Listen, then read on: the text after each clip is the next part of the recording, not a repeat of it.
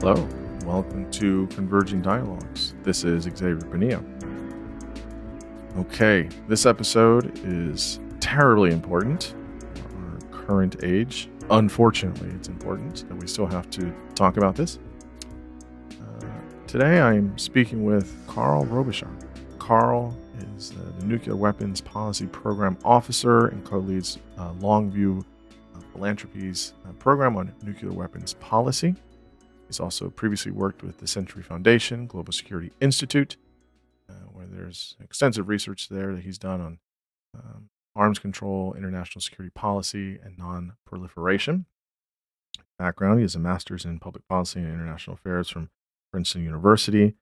He's also on the Council on Foreign Relations. And we talk all about nuclear weapons and nuclear weapons policy.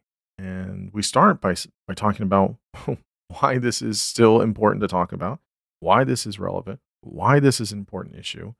Um, I think after quote unquote the Cold War ended, we kind of forgot about nuclear weapons. They're still out there. There are still countries that have them. And it is still any time two countries are in conflict and one of those countries has a nuclear weapon, is always on the table. It's always a what if, and it's, it immediately comes back into the conversation. And that's a scary thing. Um, and it's also a scary thing when two countries are in conflict that both have nuclear weapons or allies have nuclear weapons. So it is uh it's uh it's grim out there, especially since there are many conflicts going on in the world right now uh, with countries that do have nuclear weapons um, and other countries uh, in surrounding areas that also have nuclear weapons. So um, it's kind of a mess and uh, lots to be worried about. We start by talking about why this is still relevant, why this is still a risk, why we should be uh, thinking about this and concerned about it. There's obviously many things to worry about in the world um, in terms of humanitarian issues, in terms of uh, climate change, in terms of uh, economics, etc. And many times we forget about this, but this is definitely uh, top five, if not top three, uh, issues. We start all the way at the beginning. We obviously talk about Oppenheimer, the creation of the bomb, uh, how it was tried to um, be regulated after Hiroshima and, and Nagasaki. Uh, we talk about what Oppenheimer did after uh, the two um, bombs were dropped and how he was an advocate for non-proliferation. We talk about the Bay of Pigs, how close we were to nuclear war. I mean, super close. Uh, so we talk about that. We talk about uh, SALT 1 and 2, START 1 and 2. We talk about the nuclear arms race during the Cold War. We talk about the current nine countries that have nuclear weapons and what that means. We talk about the development of a nuclear taboo and how some countries have chosen to do away with their nuclear weapons entirely because of this kind of taboo that's kind of a sort of global taboo of let's not have nuclear weapons. We talk about the India Pakistan uh, tensions with nuclear weapons. We obviously talk about Iran and the nuclear weapons uh, deal that Obama made and some of the uh, ins and outs of that and some of the criticism. We talk a little bit about nuclear energy. Uh, we talk about Russia Ukraine conflict. at the time of recording this, um, I, I, believe the Israel conflict had just uh, started, um, the more recent one, and so we talk a little bit about about that and you know both these you know both you know Israel has obviously nuclear weapons. Um, China and and their nuclear weapons. Will the United States resume testing soon of our nuclear weapons? Talk about hypersonic missiles. The process of the United States launching a nuclear weapon, just how uh, easy, unfortunately, that is to do in some ways. We talk about obviously AI how that could or cannot be used with nuclear weapons. And we end with what does a healthy future look like with no nuclear weapons? Um, and, you know, there's, as we mentioned in the conversation, there's, uh, there's a lot of, there's a lot of grim facts. Um, but I was really uh, proud of this conversation. I think it's important for us to focus sharply our attention on this in ways in which we can um, try to, at the very least, be educated on it, and in some ways, uh, behooving others to to say, "Hey, listen, we we shouldn't have nuclear weapons." Um, so, tense times is a tough subject, but I think a very important one. And Carl is is doing absolutely uh, great work at uh, Longview Philanthropy. Uh, as always, you can find this conversation and all other conversations at convergingdialogues.substack.com. So get over there, follow, like, subscribe. Obviously, you can contribute if you so feel. Uh, much appreciated for that. You can also find me on YouTube. Uh, support Carl and his work at Longview, uh, doing great stuff. And uh, now I bring you Carl Robichaud.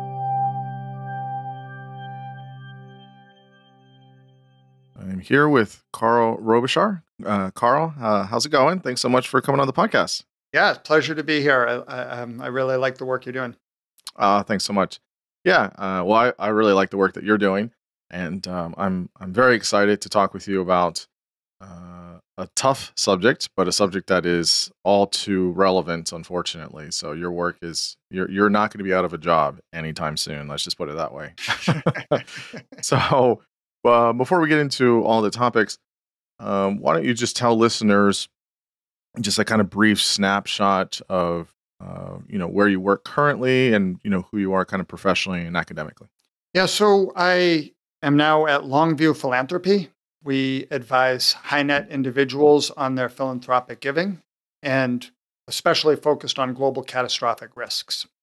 Before that, I was for 12 years at Carnegie Corporation of New York, where I led our nuclear weapons policy grant making there and have worked at a few different think tanks and research institutes as well. But most of my career, I've been focused on how do we turn money into better policy? And how do we get that money in the hands of academics, researchers, analysts, and advocates to try to get better outcomes in the real world? Hmm. Yeah, that's that's again very, very necessary, and uh, you, you won't be out of a job anytime soon. so, a lot of your work is on uh, nuclear weapons, right? Mm-hmm. That's and and uh, so again, much much to talk about here, much to get into. I, I when I was preparing for the conversation, I was thinking about what angle I wanted to to uh, tackle this from. So I think what might be helpful to start is, and you can kind of go anywhere you want with this, but uh, currently, so we're recording this October of 2023. Um, what is the current kind of overall landscape of nuclear weapons, nonproliferation, uh, various tensions, uh, policies that are trying to uh, mediate those, which which kind of give us the thirty thousand foot view of this. Yeah, it's been changing pretty quickly, and for the past thirty years, nuclear weapons. We've been, you know, a lot of people believed we were moving towards a world of fewer nuclear weapons and lower nuclear risk. And in fact, the trend lines were pretty encouraging. And today, we are once again headed in the wrong direction. Um, you've seen Russia's nuclear threats in Ukraine. Yeah. We can see China seems to be prepared to triple the size of their nuclear arsenal. You have North Korea that continues to make threats and test missiles and nuclear devices. They've, got, they've gone from two nuclear weapons to about 20 today, and they continue to improve their arsenal.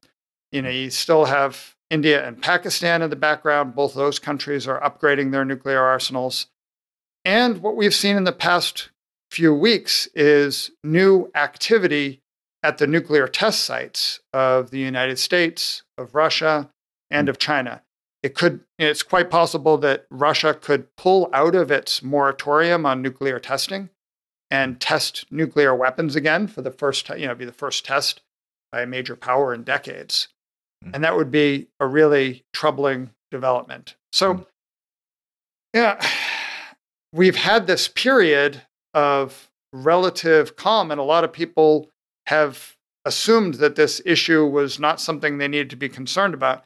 And I'm sorry to say it's not just an issue of the past, and we need to continue to think about nuclear weapons and work to reduce these risks because right now the trend lines are headed in the wrong direction.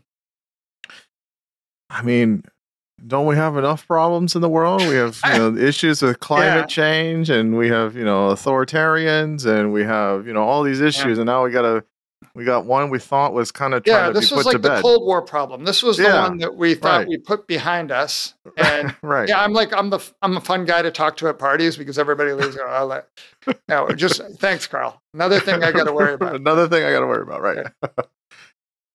Okay. Well, so there's you listed a bunch of the countries that I, I wanted to discuss yeah, in terms of. and of we can you know, get into more detail on any of those if you're interested at some point.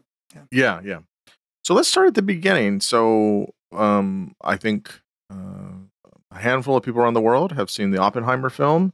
Uh, hopefully, it's about to cross a billion dollars in, uh, yeah, in revenue.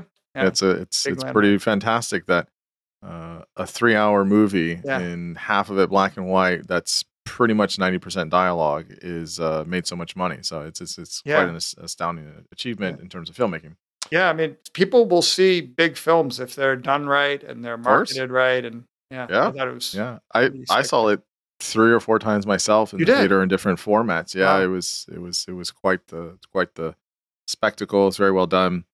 Um, the book, which it's based off of, uh, is written by Marty Sherwin and Kai Bird. And I talked to Kai Bird about the book uh, on the podcast. Um, actually, it was earlier this year, and then I released it around when the film came out.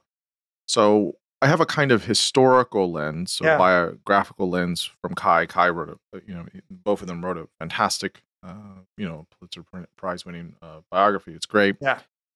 And Kai's so good at explaining stuff in history. He's he's just got a really nice nature about him. So listeners yeah. can listen to that conversation if they like for kind of the, the history. And I think Kai really got the he he kind of got Oppenheimer, like what made him tick and the brevity of it and why he's probably the most important person uh, in our lifetimes and probably many lifetimes to be honest. Um, he is he is super important.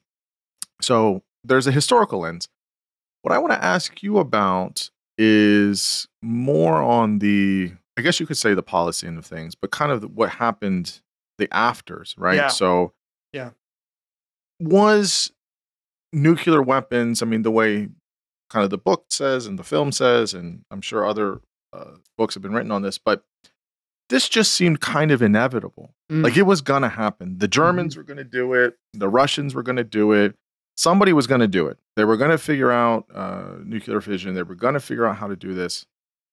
And so, you know, maybe in a way, uh, you know, it, it, there's some way in which it had to kind of be figured out. Obviously, it's horrendous what happened in, in yeah. uh, Nagasaki and Hiroshima, but I guess, yeah, was it inevitable? And what does that time frame of the 30s and right. 40s tell us yeah. about developing technology that could be really harmful for us?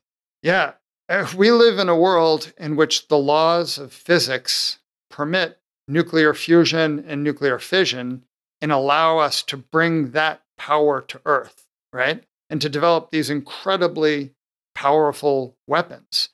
So, as long as the laws of physics permit that, it was a matter of time until people unlocked that. And so, I think at some level, the, the use of nuclear technology is inevitable. I think the circumstances by which it came into the world are highly contingent, right? Mm. And it's one of the great ironies that this weapon that was used by the United States as this victorious power to end the war was actually brought, you know, the, the impetus was Nazi Germany. They were the mm-hmm. country that started the race to the bomb. And I think we would view the weapon very differently if it was introduced by Nazi Germany rather than as part of this arsenal of democracy, right? And I don't think it's at all inevitable that the bomb arrived at the particular moment that it did in the particular historical circumstances that it did, right? So physics permits bombs, but hmm. they're not easy to engineer. And yeah. There was really only one country in the world that could put the kind of effort behind it during World War II, right? It, you know, it was $2 billion at the time. There were 120,000 people. Uh, 120,000 people worked on the Manhattan Project, right? So Oppenheimer, you see a slice of this at Los Alamos. You mm-hmm. see the mm-hmm. scientists, but there were huge facilities in Tennessee and Washington mm-hmm. State that were producing the fissile material to go into this. And so that that type of big project becomes possible when you're in a wartime footing. But mm. I don't know if someone proposed building nuclear bombs for the first time during peacetime, if they would have been able to marshal the kind of resources and will that that it took. So mm. it, it's a really interesting alternate history, right? Well, there's two alternate histories yeah. there. The one is, yeah, if, could this be done in the 20s? Yeah, Probably not. Right. Right. right. Um, hard to say in the 50s because it's obviously post-war. But yeah, in the 20s, would this have been done? Probably not. But there's that that fear when I when I when I explain this to people as much as I know. It's like, look, like there were brilliant German scientists that were working hard on this, and you know Hitler was very close to, you know, completely taking over England. You know, if if Hitler gets uh, you know, a, a, nuclear bomb made by, you know, German scientists that were working on it. And, you know, they almost, you know, get all the way up into England. You know, they can they can point that nuclear bomb if they have it anywhere on the globe at that point. Yeah. And, you know, you know, history we, we you know, who knows what kind of history would be I mean, the whole idea of the Third Reich was a thousand year Reich. Right. I mean, that was the whole point. So you you know if people put put themselves back in the 30s and 40s it was a race of we have to deal with we got to get there first we got to build it now whether you use it or not is a whole other you know issue but at the least the fact that you're able to do it just in case i mean made a lot of sense i think most people if they place themselves in that yeah. context would probably doing it knowing what could happen no right if you feel like you have a powerful adversary that's developing this technology you want to try to get there first, or at least to mm-hmm. ensure that they're not going to have a monopoly over it. Right. Mm-hmm. And this was like all these military technologies, right? Rockets, tanks, submarines. Um, you know, if the other side had them, you'd want to explore whether you could get them too. Now, something interesting happens, which is that the intelligence community and the science community realizes pretty quickly that Germany is on the wrong track. Mm. Well, I don't know if they realize relatively quickly, but well before the final preparations are made for the Trinity test, they know that Germany is not going to get the bomb. Um, you know, hmm. Japan also explored the bomb. They knew that Japan was not going to get the bomb. So at that point, there was really only one bomb program that was advanced to, to have any kind of um, role in World War II.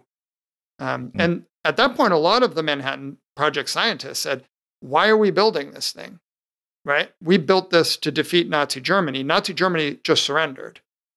Right. Um, what, what, are we going to do with this weapon? Um, should we not reconsider this? So, this is depicted in the film where Niels Bohr comes to Oppenheimer and asks, Is the bomb big enough? Hmm. And Oppenheimer says, To end the war. And Bohr says, No, to end all wars. And that's a view that was prevalent along, among a lot of the scientists is that a, a weapon of this power, nobody could continue to fight wars under the shadow of a weapon like that. Mm-hmm. Um, of course, we know now they were hopelessly naive on that particular point because we've had lots of wars in the shadow of nuclear weapons. Um, I think Albert Nobel, uh, who created dynamite, also believed that this would make wars unfightable, hmm. right? And I, yes, my concern is that any technology you unleash into the world, people will find a way to to continue to use it. Um, yeah, continue to use it, and then also to, you know, I think there's a, there's a scene in the film of, uh, I forget, he's talking with one of the scientists, and and it's like you know, well, well what's after the nuclear yeah. bomb. Like what happens after that? And I think that maybe not it's not necessarily worse, but one of the things that um, I think I've been more in my lifetime aware of is the use of chemical weapons. Yeah. Um, has been, I think, it's a different type of warfare. That's a different type of way of killing people as opposed to you know obviously a nuclear bomb decimates you know it can decimate a whole city obviously but chemical warfare is is an is a whole other kind of evil so i mean there's there's you know there, yeah. again, there's I mean, there's I always suppose, something like poison gas is really awful, but Mhm. so is radiation sickness. Right. Right, And if yeah, you listen to the accounts of people dying slowly over the course of days, as Mm. you know, they just they waste away, or Mm. they- to die years later of leukemias and cancers. Mhm. It's like Mhm. a really Yeah. awful way to die. yeah it's terrible it's terrible but psychologically physically Yeah. it's, it's- the effects Yeah. of it decades after is is is you know absolutely grotesque so And I think that's like Af- one of the questions that we've grappled with in the nuclear age is Mhm. is this just a bigger bomb? Is this a weapon of yeah. war that can be used like other weapons of war? Or is there something different? Hmm. Is does this cross a line? yeah And is it is it disproportionate? Does it harm civilians? And that is where a lot of the big debate lies today. Uh, you know, Mm. as countries are rebuilding their arsenals, I, they're thinking about these as weapons. But most citizens don't think about nuclear weapons just as weapons to be used on the battlefield, but as something inherently disproportionate, evil, like a Mhm. chemical weapon or like a Mhm, mhm. biological weapon. Yeah, yeah. I mean, it's it's a it's it's a strange framing and how different people will see it differently. After Hiroshima and Nagasaki, I mean, obviously it, it- it changed the world in, in in terrible ways. But how did a nuclear world begin to have new questions and try to develop policies Yeah. and legislations and regulation of this? Uh, you can talk about the IAEA um, and how that continues to have a ripple effect today. But what was the kind of conversation in the late 40s and then 50s and going into, into uh, yeah, probably the late 50s of what do we do with this? What's next? Yeah. What happens? We don't want this Yeah. again. How did this turn out legislatively? So the scientists from the start knew that this was a scientific technology that was out there and that basically anyone could master it. And so they saw the need from the start for some types of controls, because if every country could get these weapons, we would be living in a really scary world. And initially, a lot of those scientists were consulted closely. There were, you know, so yeah, after Nagasaki, there were actually no nuclear weapons in the world, right? Because that was the second and only bomb the US had at that point, and it would be another month before another would come off the production line, right? I mean, Stalin knew that he wanted them. Uh, he had spies uh, in the Manhattan Project and in other places and understood uh, that this was a technology that he needed to counter in some Mm. way. But it would be four years before they would be able to build up the infrastructure. And a lot of people at the time thought it would be a lot longer. So there was a plan for international control of nuclear weapons that the US proposed. It was initially this Acheson Lilienthal report, which was actually drafted by Oppenheimer. Uh, and that became the Baruch plan. And Baruch was this elderly statesman, um, former financier, who went forward and tried to negotiate a deal with the Soviet Union and with other countries to try to limit the spread of nuclear weapons. And the US would have briefly a monopoly on nuclear technology, but they would then move towards a world with intrusive verification to ensure that no country could have this weapon. And that plan was essentially dead on arrival um, because, well, a few reasons. I mean, one thing, there was an incredible distrust between the United States and the Soviet Union. Um, Yeah. Stalin wanted the bomb. He didn't want the US to persist in its monopoly over this technology. He didn't trust the US. Um, lots of other countries wanted nuclear weapons or technology as well. And there was no mechanism for the sorts of intrusive verification and monitoring that you would need. I mean, it's an interesting thought experiment to imagine. Like, let's say nuclear weapons were somehow invented in 2023 uh, in a world where we have satellite imagery and persistent um, mm. camera surveillance of all different things. Could we establish a world with intrusive verification that would actually work? That's an interesting experiment to play out, mm-hmm. right? But mm-hmm. certainly at the time in 1945, this was not something that they could agree to. And so lots of countries started hedging and started developing their own nuclear programs in order to have a backup plan uh, if, if they needed to rely on nuclear weapons for their security. And it's interesting because the film Oppenheimer really focuses on his role at, at Los Alamos. But there's right. this incredibly rich history of his engagement after the war, which uh-huh. the film touches on, certainly. The book goes into a lot more detail on it. Yeah, and, yeah. you know, his role as a, a voice for what he saw as this, this open world in which nobody could keep secrets. How do we manage a world of competition and keep ourselves from blowing each other up, right? Yeah. I would say probably his life is probably at least in four acts, right? You know, the beginning yeah. and then, you know, how he's, you know, he tries to figure himself out and he does. And then he gets to this space where he's, you know, leading the project and building the bomb and things like that. And then this third act of his life is basically twofold. At least my understanding is he kind of becomes a uh, uh, an advocate for uh, non-proliferation. I mean, he's trying yeah. to say, like, listen, we can't make these things. Like, we can't do this. Um, and he's it seems like he's just trying to put everything back in the bag, and he just yeah. he can't do it. But he, he tried. He tried. He spent you know, years doing that all yeah. throughout the fifties, um, while simultaneously dealing with the hearings and is he a communist and doing yeah. all this stuff. Um, I think it's so strange because once he gets his um, uh, privileges taken away or whatever it is, he he kind of becomes a rec- recluse. He goes yeah. and lives off in the in the Caribbean, I believe. Yeah. Uh, he just gets on an island and he doesn't really say anything. He doesn't really yeah. do a lot of interviews too much. Pretty much vanishes from public and, life. Yeah, and then he ends up. Uh, yeah. He died of um, it was throat cancer. I yeah. could be wrong on that, but yeah, he, big, he died in his sixties. Yeah. So, so it's quite interesting how he did dedicate a lot of his life after that to trying to prevent it. I mean, as much as he probably humanly could. I don't think there's anything else he could have done.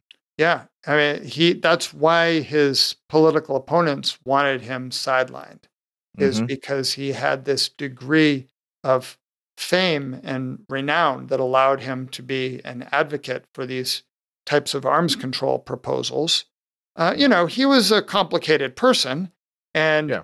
he often took one position and then took another position, right? And that mm-hmm. I think that that reflects to me a certain nuance to his thinking. There's a there's mm-hmm. a film in the there's a scene in the film where Edward Teller says, "You're like a sphinx. Nobody knows what you really believe."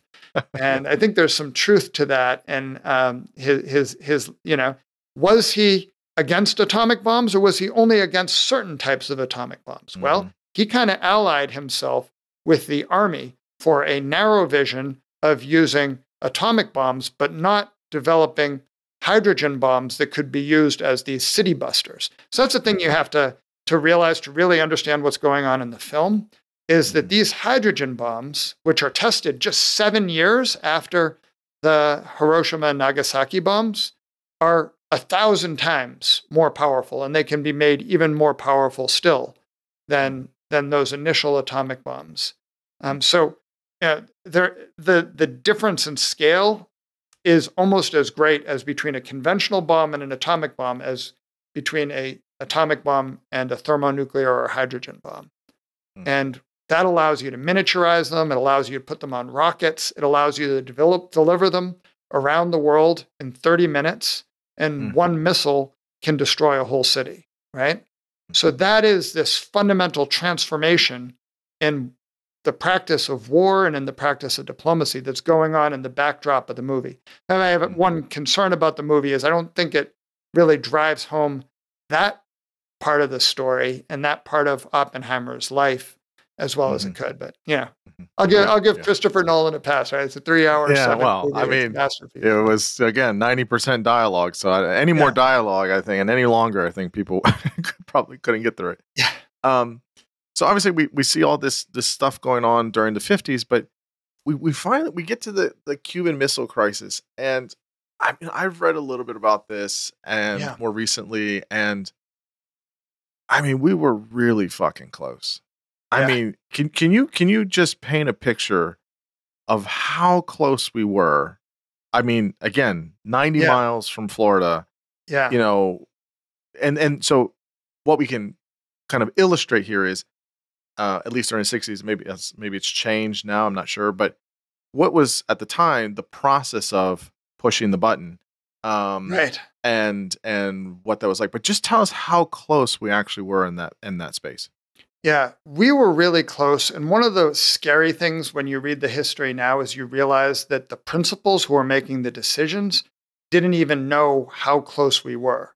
And many of them died not knowing how close we were because it was only revealed later when we got the declassified information and got Mhm. all the documents from the former Soviet Union, right? So, as scary as it was for Kennedy and Khrushchev in the moment, there were actually a couple other incidents that could have led to widespread nuclear war. Now, just for context, by the time you have this crisis, um, there are there's, there's the equivalent of 1.4 million Hiroshima bombs in the U.S. stockpile alone.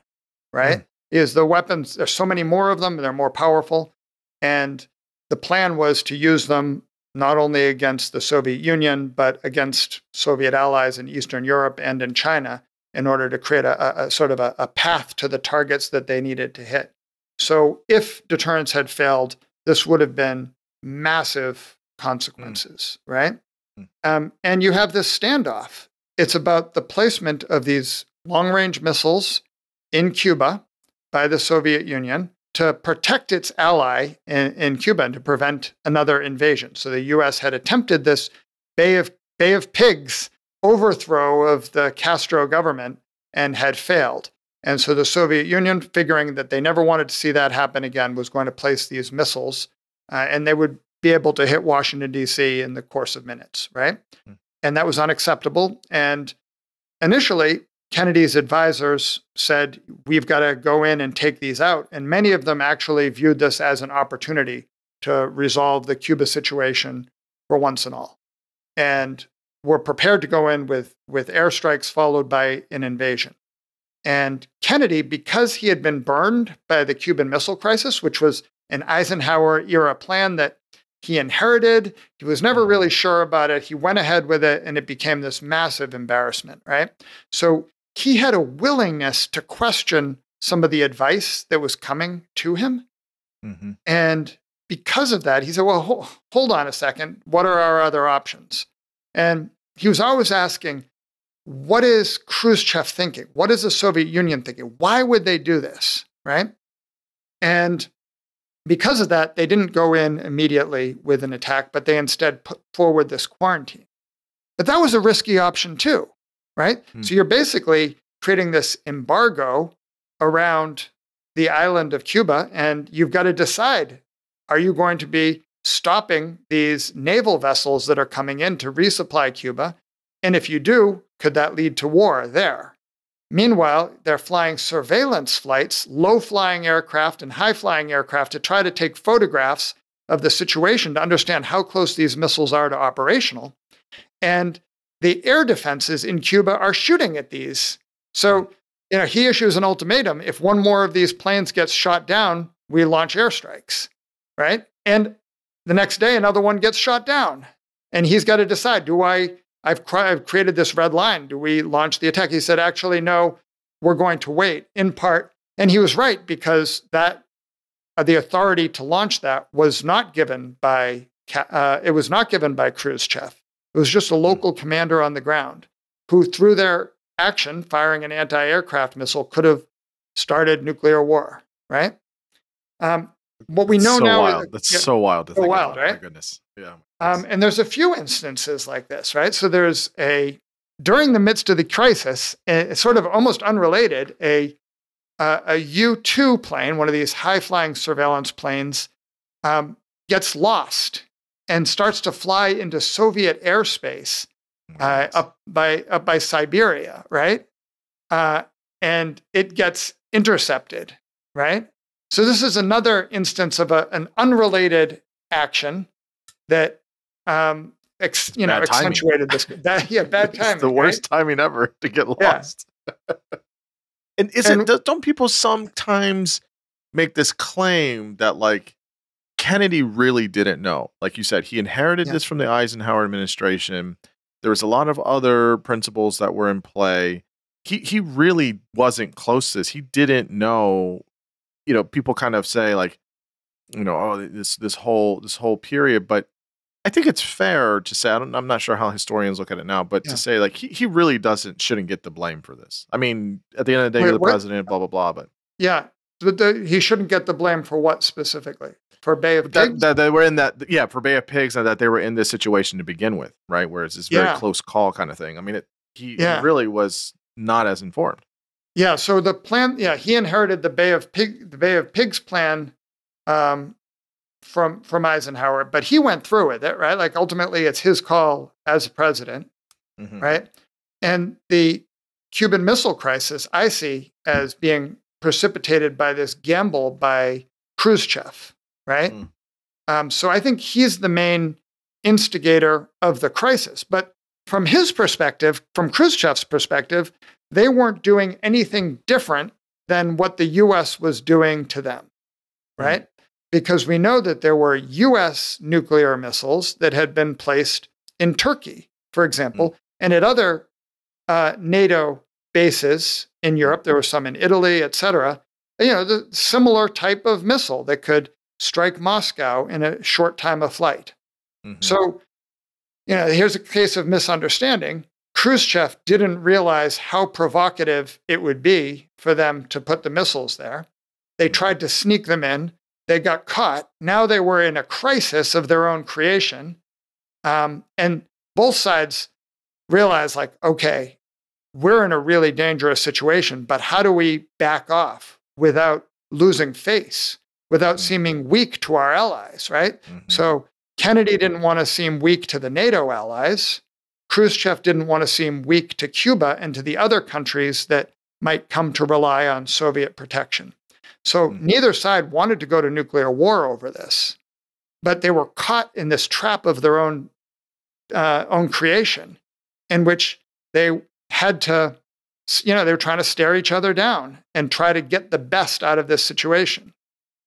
And you know, after the after the Cuban Missile Crisis, it you know ultimately it resolves. And I could tell you a couple other close calls along the way, but ultimately it resolves with Khrushchev pulling those missiles out Hmm. of Cuba. Hmm. And for the next 30 years, that's what everyone thinks happened, right? Is that the Soviet Union blinked. Hmm. But what we know is that those missiles were traded off in a secret deal, uh, and that the missiles were removed from Turkey as well. So it's not Khrushchev that blinked, it's both Kennedy and Khrushchev who both blinked, right? Hmm. And because of that, we didn't have a war in Cuba, we didn't have a nuclear war.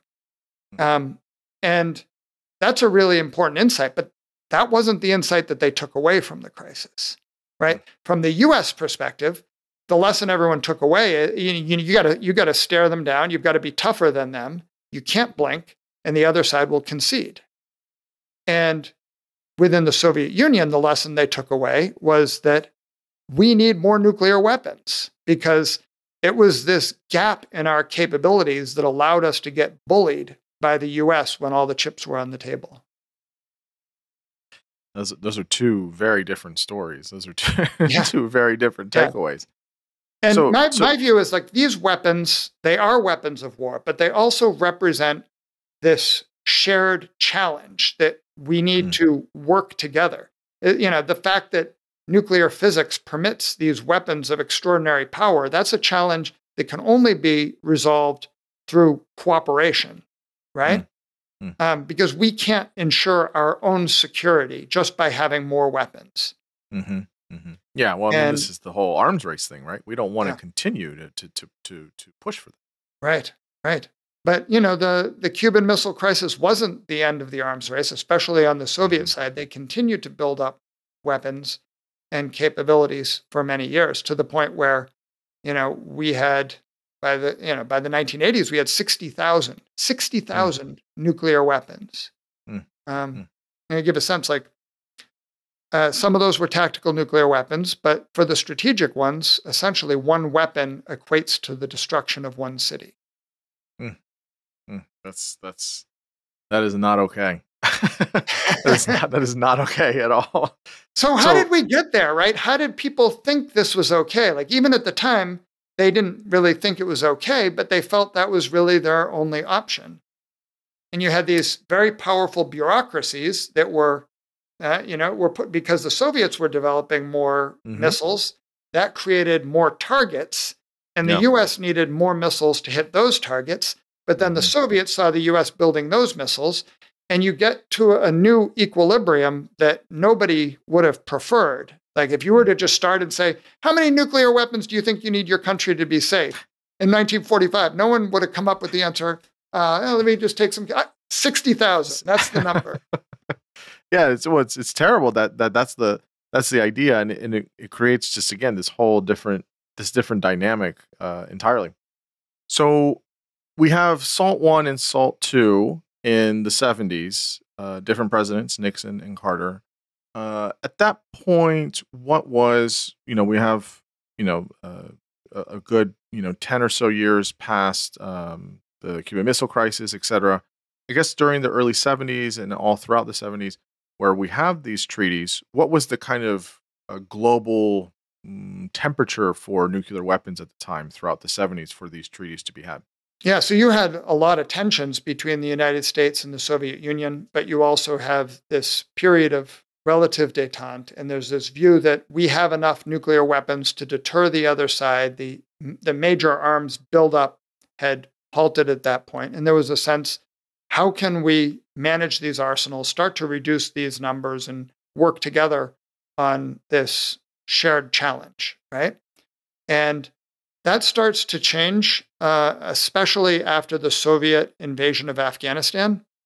Um, and that convinces yeah, that, that convinces many people in the in the US that this is a country that can't really be trusted mm. and that we need to embark on a new arms buildup. That arms buildup actually starts during the Carter administration. Mm. And, you know, he proposes a 5% per year increase in the Defense Department budget. And then when Reagan is uh, uh, elected, he takes that 5% and adds another 7.5% to it. So mm. massive arms buildup, which is really threatening to the, the, the Soviet Union. Um, so you have this new period of you know, elevated risk and, and arms buildup after a period of relative detente. Mm. That makes mm. sense? Yeah, yeah, it makes that makes a lot of sense. I guess there's this interesting thing of like again, it, it really is an arms race, right? Well, if this country has yeah. more, then then we're gonna have more and we don't want to be yeah. uh, exposed or we don't want to be seen as, you know, defenseless or things like that. Yeah. We we have this period throughout the 80s where I mean many people remember the kind of the Cold War thing and um, what what can you tell us about START one and two? Um, so different uh, different um, agreements. Um, what yeah. was significant about both of those? I mean, I think that that we could talk about the details, but it's probably not important. The most important part about these treaties is that they reflect a, a view that these weapons are a shared they're a shared threat mm. and that we can start to work together to, to limit them and we can count the delivery systems and we can start to phase out some of the outdated weapons and in fact some of the weapons that pose a, a greater risk so there was mm. uh, an attempt to eliminate um, MIRVed warheads for example so that's one missile could have three or four or 10 warheads on it, mm-hmm. which would, you know, that's inherently destabilizing because yeah. um, you can, with a single missile, take out 10 of your opponent's missiles in principle, which mm-hmm. creates an incentive to strike first. So, mm-hmm. part of these, these treaties are about reducing the number of weapons, but doing so in such a way that maintains stability. Mm. Right? Mm. Yeah. Um, and you know, they they require a certain level of trust because no arms control treaty is going to be perfect. Uh, the verification measures are never 100%. Hmm. Yeah. Um, but, you know, both countries had reached a point at which they had enough weapons that it seemed uh, impossible for the other side to gain an advantage by striking first. Hmm. But the interesting thing is that even, you know, that understanding is somewhat fragile. Hmm. So we learned later that during the 1980s, the Soviets were actually afraid that the US was going to execute a nuclear first strike. Hmm. Um, and that this Reagan arms buildup was really intended to give the US nuclear primacy to be able to strike first. And uh, there was a lot of concern among the Soviets that they were vulnerable to an attack of this type. So they were really closely monitoring what was happening in the US. They were uh, keeping, there was this thing called uh, Project Ryan, where they were gathering data from all aspects of society. You know, how much, you know, what is the level of uh, blood at US blood banks? How many, how many cars are parked in the Pentagon overnight? Like things like things like that as indicators that maybe the U.S. was about to strike a preemptive launch. You have to remember the Reagan rhetoric at that time, in terms of you know, the, the, rhetoric of an evil empire and the mm-hmm. types of weapons that were being built, were pretty threatening to the, the Soviet Union. Mm. Uh, when Reagan le- later heard about these concerns, he was like, "Are you crazy? Of course we weren't going to do that. Why did you think we were going to do that?" Um, and that was like a, a wake up call, I think, because it, you know, once again, you have this theme that the things that we do that make sense to us, mm-hmm. to the mm-hmm. other side, seem really, um, un- in some ways, inexplicable and, and threatening. Mm, yeah. So let's move to current day, I guess. So it's yeah. a bit of a kind of a, a, a march through history there, but which is all important. But so so tell us. So let me see if I got this right currently, the way I understand it, is nine yeah. countries have yeah. nuclear weapons, uh, yep. which would uh, be I- India, U.S., Russia, Israel, North Korea, France, Pakistan, China, and the United Kingdom. And you get North Korea on that list? Yep, yep. yep. I had North Korea there was it always these nine? Did more countries have uh, nuclear weapons? Why do these nine currently have nuclear weapons? Are there potential for other countries to have nuclear weapons? What's where are we at? Kind of yeah, where countries are now. It's a surprising list. So if you go like it we'll is. go back to 1945, the bomb has just uh-huh. dropped. If you were to say, okay, 80 years later, these are the nine countries that are going to have nuclear weapons. So you'd right. be like scratching your head right? Mm-hmm. Because mm-hmm. at that time, there basically every advanced industrialized nation was exploring nuclear weapons and trying to mm-hmm. see is this a technology that we need, right? And so you would be surprised that countries like Germany didn't have nuclear weapons, countries like Japan and South Korea didn't have nuclear weapons. Um, mm-hmm. You would be surprised that relatively small and poor countries like North Korea or Pakistan had nuclear weapons, right? Mm-hmm. Mm-hmm. Um, and that story is not a simple one and it's not monocausal, right? But I'll try to lay it out as as best as I understand it, right? Yeah, yeah. Which is that you have these these interlocking factors, right? Why do why do countries pursue nuclear weapons? Well, the main reason is because they are concerned about their security, and so you have the, this alliance system, uh, NATO and the Warsaw Pact, where the U.S.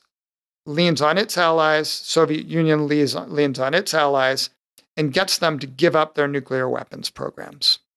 Hmm. Uh, so you see a lot of nuclear weapons programs in the 50s and 60s start to go away but their, their countries are still hedging a little bit, right?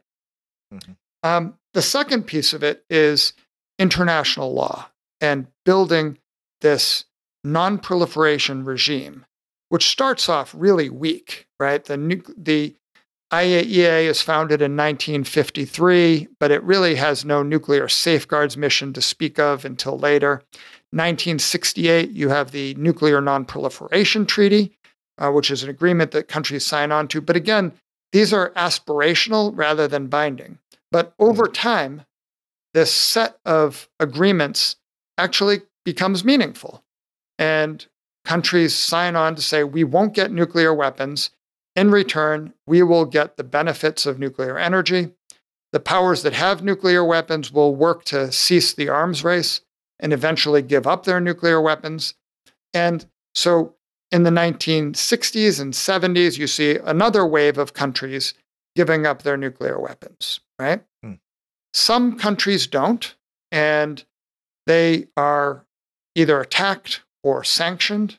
Um, and so there is military counterproliferation that takes out some of these nuclear programs, um, you know, most notably in Iraq, um, most recently in Syria, right? Mm-hmm. But that's not a, that's not the biggest part of the puzzle. I think one of the biggest parts of this story is actually the evolution of norms around nuclear mm. weapon possession.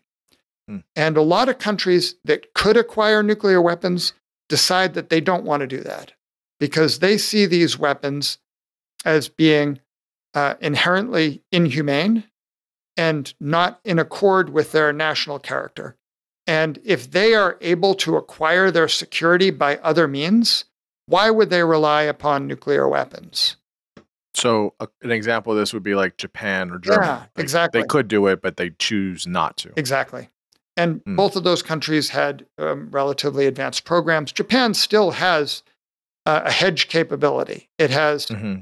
uh, en- enriched and separated plutonium on its soil that could be used uh, to build a nuclear bomb. And they certainly have the um, advanced military technology to, to do that and to deliver the bomb if they wanted to. But they have become a nation opposed to nuclear weapons in many mm. ways. Um, part of that stems from their historical experience. But mm-hmm. once, once, especially democratically elected leaders, once they um, sign on to a set of laws and agreements, it becomes pretty hard for their successors to, to, to roll that back. Mm-hmm. And so you now have a situation where the vast majority of the countries in the world have signed on to an agreement to say they won't get nuclear weapons. And many have also signed on to an additional treaty, the Treaty on the Prohibition of Nuclear Weapons, saying that they believe nuclear weapons are illegitimate and there should be no nuclear weapons in the world at all. Mm-hmm. Um, so they, that's the, the, the, the, type of norm formation that, that has happened. Uh, some people refer to it as this nuclear taboo the taboo mm. against the use of nuclear weapons or the taboo against the possession of nuclear weapons. So let me just clarify something. Yeah. The the nine countries currently yeah. they have the capability of making nuclear weapons.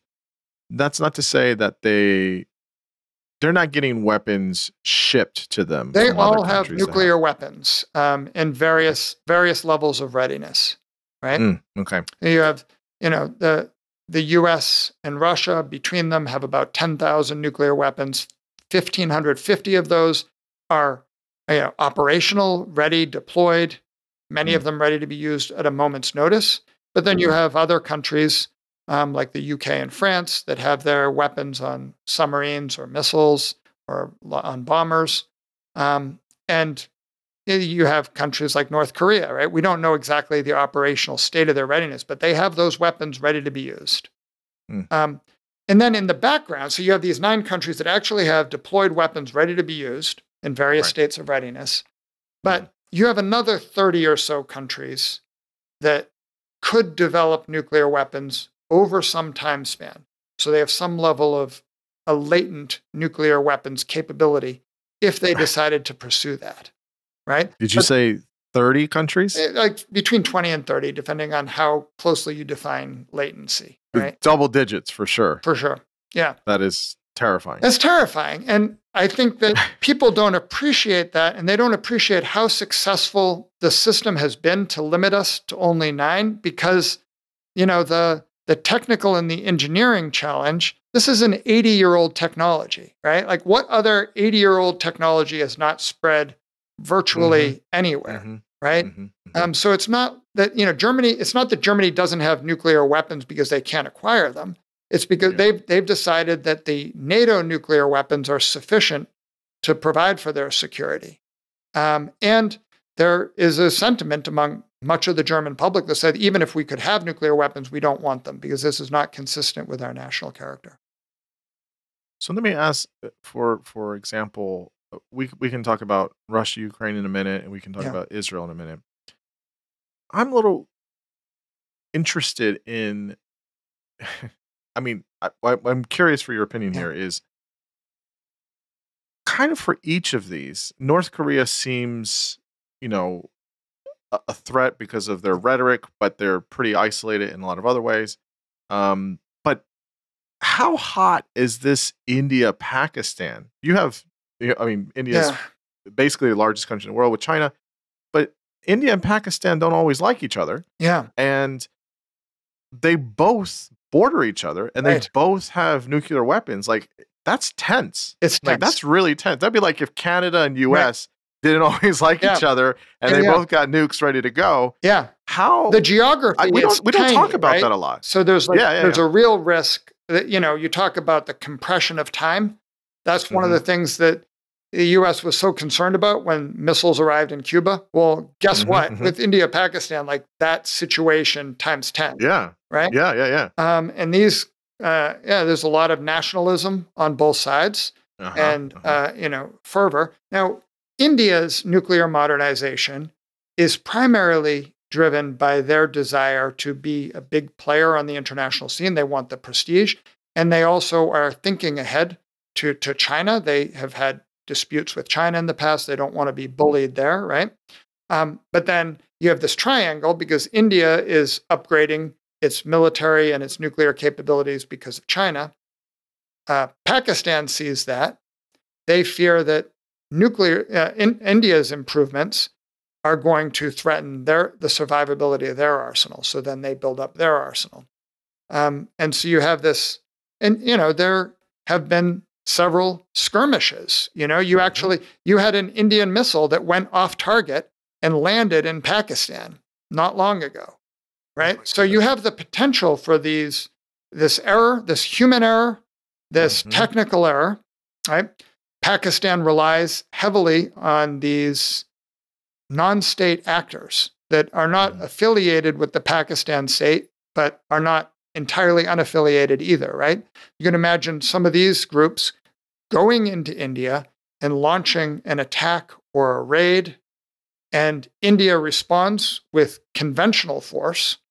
Mhm, If Pakistan starts losing a conventional war against India, mhm. it will be tempted to use nuclear weapons to halt that. Um, and we know that while these arsenals are smaller, they're not small and could result in you know millions, tens of millions of immediate deaths, but then cascading consequences from the environmental consequences from radiation, et cetera. So that's a situation that I'm pretty concerned about. You know, I don't follow South Asia as closely as I should. You can't keep your eye on everything, right? But Mhm. um, there, you know, there's a lot of powder in that keg. So I want to ask about new uh, countries coming to play. I mean, I think Yeah. so. We can use the example here of one of them. It- you know, you're talking about the norms of people saying like, "Look, Yeah. we don't want to do this nuclear taboo." Fine, that's a good thing. Yeah. But there is potential, though. You were saying there's a, I mean, a good you know, double digits of countries that have the capability, and probably some more likely than others to start uh, making nuclear weapons. Yeah, So the case of Iran Yeah. is particularly hot for a lot of reasons. So I, I when I was preparing for this, I, I really wanted to ask you. Yeah. I really want you to explain to me and to listeners what was Obama's kind of Yeah. vision, right? I remember that whole nice speech he gave, you Yeah. know, I'll I'll open my hand if they unclench their fist or whatever it was. Very nice Yeah. and he tried i mean he got a lot of shit for it Yeah. i mean people came after him on the republican side and even other people globally and he really tried i mean he really tried they had the um i'm forgetting what the the name of the deal was uh, they had, the Joint Comprehensive Plan of Action. Yeah, JCPOA. Yeah, you're And- and excused then Trump- for uh, forgetting the name of this wonky. i can't acronym. remember i can't remember all the all the acronyms And we all too many acronyms in this i can't remember i can't remember all. Yeah. so like we had this deal just just tell us what the mindset was what Yeah. was there and i'm assuming that it was it was very real that they were building nuclear weapons. Like they were a Yeah. 10th country essentially. Yeah. And he did not want that because they had, I think Ahmadinejad at the time had said, we want to wipe Israel off the face of Mm-hmm. the earth. And if they're building nukes and like, that's just a mess. Yeah. So, but then Trump pulls out of it. Yeah. And I don't know what the, I think Biden has said he wants to re enter it. And so I know He said John he Kerry wanted to a re-enter it, but then he didn't, and then things got worse. And so, So give us this case example, I guess, of Yeah. Iran. Tell us this story here with Iran and nu- nuclear weapons. yeah. So this is an example of how hard non-proliferation can be, right? Because Iran starts a nuclear hedging program. Um, this goes back decades, back to when they were an ally of the United States, right? Mhm. And they're exploring nuclear energy, but they're also exploring nuclear weapons. And a lot of countries do that, right? Mhm. Um, they want to have the potential to for, for both capabilities in case either becomes important. Mhm. Um, they are discovered to being, uh, you know, they're messing around with some sensitive technology. And, um, you know, there are parts of the nuclear fuel cycle that are relatively safe and innocuous, and there are others that aren't. And the areas that are of greatest concern are uh, uranium enrichment and plutonium reprocessing. And Iran is developing a uranium enrichment program, which is way out of proportion with its domestic energy needs. Hmm. Um, and you can take that enrichment plant and you can use it to build to make nuclear fuel rods, or if you enrich the uranium further, you get a bomb, right? Hmm. So they were on the path to have a nuclear weapons capability. They were also messing around with plutonium and some weapons designs, right? And so the you know the intelligence community recognizes that Iran is on on its way. Now, remember, this is the same intelligence community that just a few years earlier thought that Iraq had a nuclear weapons program Mhm. and was a total debacle when after the invasion they realized what a lot of people knew, which was that Iraq didn't have a nuclear weapons program or that they had ceased that program years earlier, right? Um, so Obama has a choice now. If he does nothing, Iran will acquire a nuclear weapon or at least the capability to build a nuclear weapon in a very brief period of time. Mhm. Now, he could invade Iraq or launch airstrikes, but doing that in the wake of the Iraq war, which he has been one of the most vocal critics of, Mhm. uh, you know, you could see the quagmire we were already in in Iraq. So that doesn't seem like a good option. So they try to buy some time.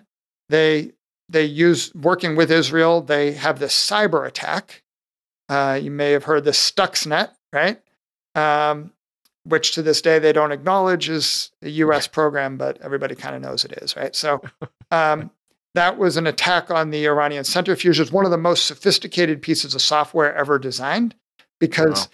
it forced these centrifuges to go out of control, but in a way that was difficult to recognize that they were under attack. They just looked like a technical error, Mm. right? Um, so that buys a little bit of time, but ultimately it sort of strengthens Iran's resolve. Uh, and now there's all these domestic political factors as well, right? Mm. So you have a choice. Um, you can either use military action or you can try to strike a deal. And that's what they did. You know, Iran had invested a lot financially and politically to get to where they were and had made all kinds of justifications for why they needed this uh, nuclear program as a point of national pride and sovereignty, right? So they weren't going to just trade it away for nothing.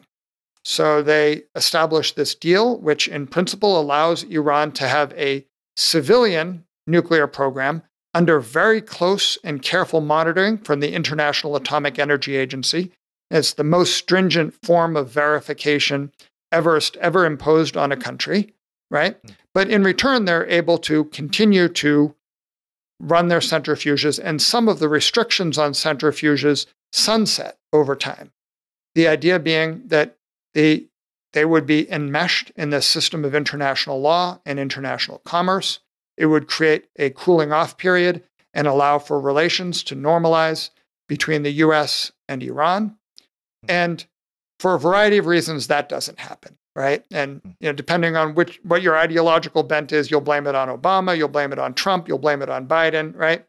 Um, yeah, there are certainly domestic politics at play in Iran as well, Hmm. which I think you need to take a look at. Um, but uh, you know, you have a regime that's doing lots of questionable things and supporting terrorist organizations and is being sanctioned for their activities outside of the nuclear space. There are a lot of people in the US who are saying, this is the same regime. We can't relax sanctions because they're doing all this other bad stuff, right? Hmm. And then some folks in the US, especially in the Obama administration, said, no, the biggest problem they pose is on nuclear weapons. Yeah, we don't want them to do this other stuff, and we have ways to deal with that. But uh, we need to we need to keep our eyes on the ball. The biggest threat that Iran poses is if they cross that threshold and become a nuclear weapon state. So the deal was designed to solve that particular problem, not every problem that Iran Mhm. poses. The Trump administration comes to office, they say, "What is this what is this crappy deal? We're, you know, we're letting Iran off the hook. Um, they're doing all this mischief in the Middle East. We need a we need a program of maximum pressure. Uh, they pull out of the deal. This, of course, lets Iran off the hook. So then they can increase their uranium enrichment activities. And that's exactly what they do in order to gain more leverage so that they could then negotiate those away. So, where we are now, basically, the deal is moribund. Iran continues to creep closer and closer um, to, to having a bomb or having a bomb's worth of fissile material. Um, the stringent restrictions negotiated through the Joint Comprehensive Plan of Action are not in effect. And recently, the Director General of the IAEA said that he is not being provided adequate access to be able to make their determinations that Iran's program is peaceful. So it's a it's a cluster. That's that's that's that's a big headache. I mean, you can really hear the pragmatism of Obama. I mean, he's a very Yeah. pragmatic guy, Yeah. and you can hear it. Um, yeah, that that's Yeah. that's a mess. I mean, for me, And it what- drives home this this idea, which is that if a country is really set on acquiring a nuclear weapon, there's Mm. very little you can do to stop them. Uh, short of invading, if you have that capability, right? Mm. Um, you can apply pressure, but if they are willing to suffer that pressure, uh, they will eventually succeed. And we saw that with North Korea. Uh, Mm. you saw that also with Pakistan, which suffered under various sanctions uh, in order to acquire a nuclear weapon that they thought was essential to the survival of their state. There's a, there's, there's a great quote by the Pakistani prime minister that said, We will eat leaves and grass if we have to, but we will not be left without a nuclear weapon in the face of India's program, right? Mm. Mm. Um, so if someone's willing to eat leaves and grass, there's not so much you can do. So Yeah. you need to think more broadly about how can we allow states to feel secure so that they don't Mm. need to resort to developing nuclear weapons. How do you do that? Well, Mm. one thing, you don't threaten to topple their regimes, right? Right, Because right, right. if they feel like the only reason that they can survive, the only way for them to survive in the world is to do what North Korea did and get nuclear weapons, then you will have a new wave of proliferation. But you also need to keep this non-proliferation regime in place so that countries that go this route find it much more costly. They have to suffer the financial costs, they have to suffer the reputational costs.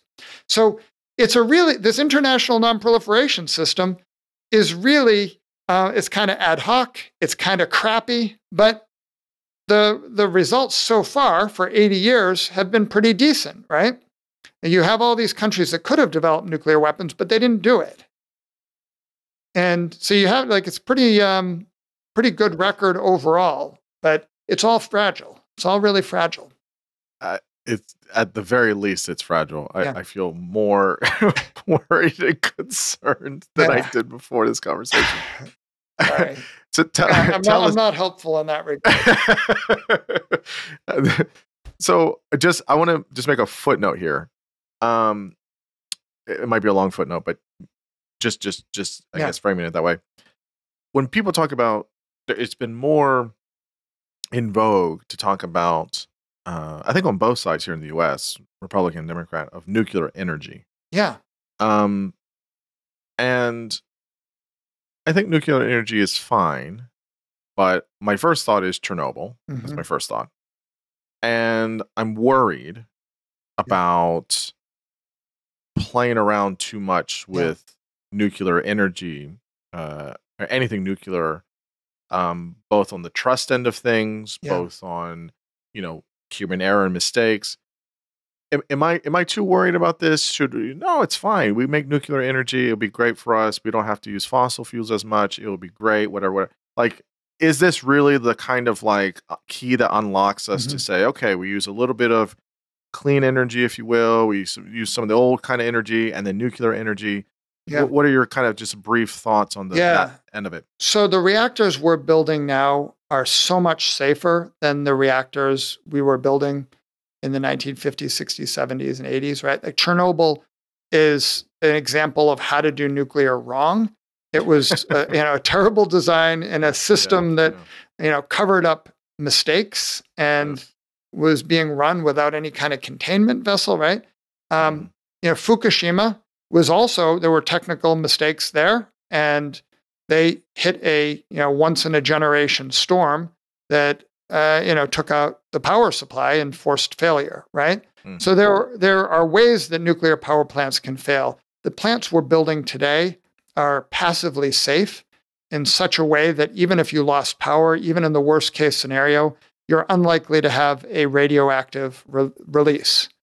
And you know, even in the case of Fukushima, the number of deaths from Fukushima, uh, you know, it's there's obviously disputed, right? Like people say the radiation is really bad, other people say not. Uh, even if you take the worst, the highest possible estimate for environmental and human harm from Fukushima, it's a tiny fraction of the number of people who die each year from the pollution from greenhouse gases, right? From air pollution uh, or from coal mining and you know the, the, the, those deaths, right? So on one hand, nuclear is this really technically and scientifically sweet technology, right? Mm. It's like the amount of energy locked in a small piece of uranium is just so massive in proportion to any other technology on Earth. And you know, you think we should be able to figure this out and to be able to harness this safely and cheaply, but very few countries have succeeded in doing that. And so the problem has been why? More, why? Yeah, this is a this is a real debated question, and I think part of it is just mismanagement by some of the companies that are building nuclear power plants, but part of it too is you know the layers and layers of regulation and red tape that we've heaped on to the nuclear mm. industry. And a lot of it is, is with good reason. It's with concerns about safety. And the you know the the fact that there have been accidents at Three Mile Island, at Chernobyl, at Fukushima hasn't given the public enough trust in this technology. There are new, you know, the current reactor designs, as I said, are much safer than those designs, right? But most people are not going to make that distinction. And of course, as you make the design safer, it becomes more expensive. So hmm. nuclear had its moment, right? Right now, solar and wind are the cheapest way to produce energy, and they're getting cheaper and cheaper each year. Natural gas is a really cheap way to produce electricity. And so nuclear has to not only compete against public perceptions, it's got to hmm. compete with these other sources of energy that are low carbon or no carbon and are cheaper, right? Mm. So the nuclear industry is going to need to innovate if they're going to uh, match these other technologies in terms of price and in terms of public trust. But mm. it's just this incredibly promising technology, right? So like the the entire the, the the amount of waste for one individual to live their entire life powered by nuclear energy would fit in a soda can, right? Um, you know, compared to like you know buckets and you know piles and piles of coal mm. ash, right? Mm, so, yeah. um, I hope we can figure it out. I'm it's- I'm, I'm surprised more people haven't been able to do it or, or aren't Yeah. doing it. Or uh, it's very interesting. I mean, France produces 80% of their energy from nuclear, and they've done Mhm. so safely. Ger- Germany was, but Yeah. then they sh- they shut down some of They shut it down uh, in Uh-huh. you know public concern after Fukushima, and Uh-huh. so as a result, this country that's led the world in clean energy is Mhm. now buying a lot of their fuel from coal-powered electricity from other countries. Mm. Um, so there was a real cost to shutting down those nuclear plants. Yeah. Um, so I'm I'm hoping that a new wave of technology will find a way to do nuclear cheaper and safer than it currently is, Mm. um, and to be able to basically manufacture nuclear power plants rather than build them as these enormous bespoke construction projects, which has been you know, the, the big problem with building more plants. So let's let's go, I guess, to very current. Uh, what's going on now in the world? Uh, I typically don't like to date my my conversations, you know, but I think uh, regardless of when people listen to it, there will definitely be uh, this unfortunately a time in history where we remember Yeah. these conflicts. So Russia and Ukraine are uh, what has it been a year and a half? I guess Yeah. coming on two years now, right? Yeah. almost two years. Nove- uh, unfortunately, February, I think. Yeah. yeah, and uh, as I mentioned earlier, you know that um, you know Israel and, and Palestine has uh, just absolutely horrific uh, images coming out from from, Yeah. from that region. Uh, recently, Israel has nuclear weapons. Russia has nuclear weapons. Ukraine does not, and Palestine does not. hmm Um, uh, you can take it in any order, I guess. Maybe with Yeah. Russia. What is the likelihood? I'm not asking you to be Nostradamus here. so, is there a, is? I mean, no one knows the mind of Putin, all Yeah. that stuff, but is there a space where, you know, he he says, you know what? I'm tired of wasting all this energy and money and resources and manpower. You know, nuke right into Kiev. I mean, does that happen? Does is there a world where that's literally possible, or is this just you know grandstanding? and- It seems unlikely to me, but you never want to rule it out, especially when it comes to Vladimir Putin, right? Uh, Mhm. Is there a world in which he poisons the prominent opposition figure in his country? Like he did that. Is there a world in which he invades Ukraine in a like this incredibly ill-advised gamble?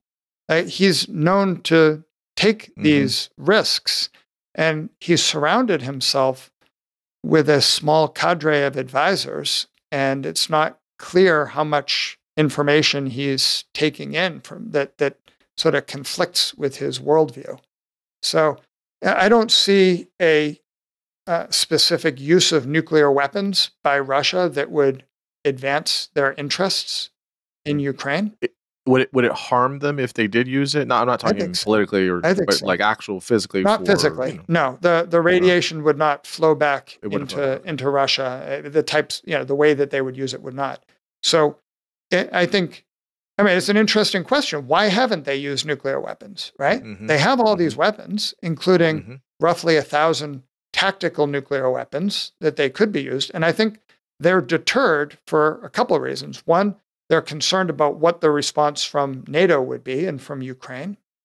Mhm. But I think more importantly, they're def- defer- deterred by what the international blowback would be because we've established this tradition of non use for the past 78 years. And for them to cross that line uh, is something that, as I've heard, that both China and India have told Putin not to go ahead with any nuclear attacks.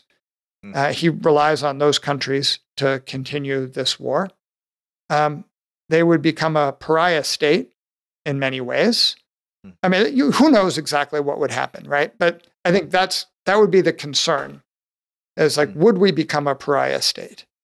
Because uh, roughly three quarters of the world's population lives in states that hasn't taken a side in this conflict, right? It's not favoring either Ukraine in the West or or Russia. They're sort of sitting on the fence, right? Mm. So does Russia want to risk that? Uh, quite aside from the narrow military objectives they might achieve, there would be massive costs that they would incur. But I wouldn't put it past him, especially if things start to go badly for Russia.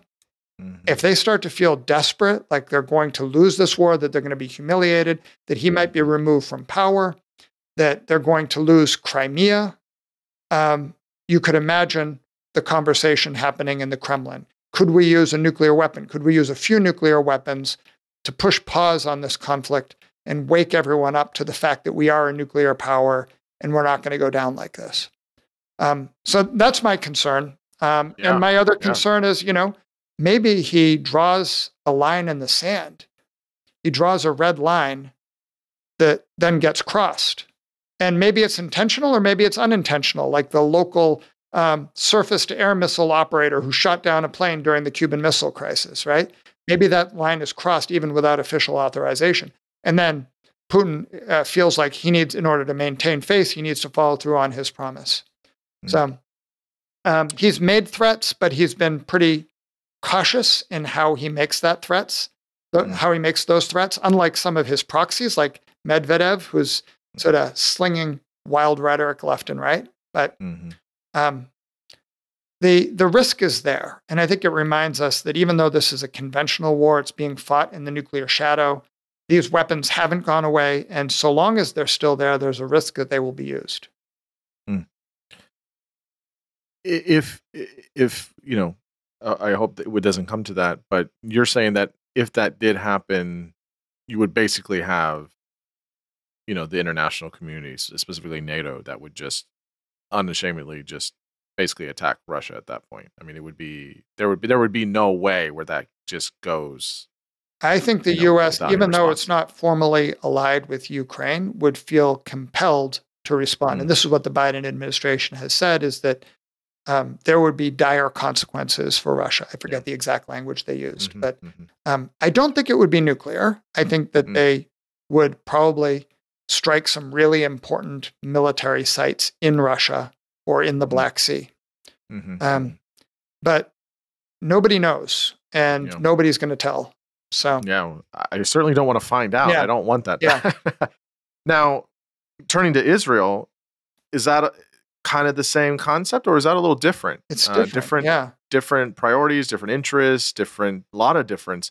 Yeah. What's the kind of story there? So Israel acquired nuclear weapons in the 1960s, but hasn't announced that they are a nuclear power. They maintain this uh, mm. position of ambiguity, saying they won't be the the first or the last to introduce nuclear weapons to the region. Right?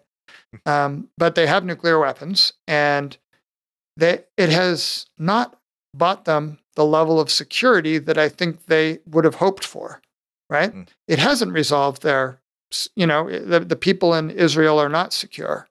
Um, so it, I think it signals the limits of influence you can get with nuclear weapons. Um, similar to the, you know, the challenges that Russia is facing in using its nuclear weapons to get its way in Ukraine. There are limits to what you can do.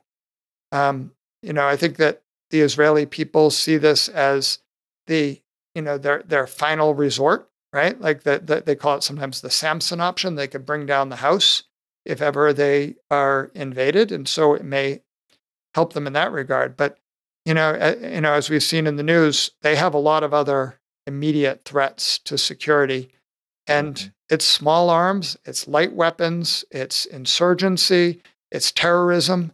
These are the things that are most likely to, uh, you know, to be the, the big security concerns.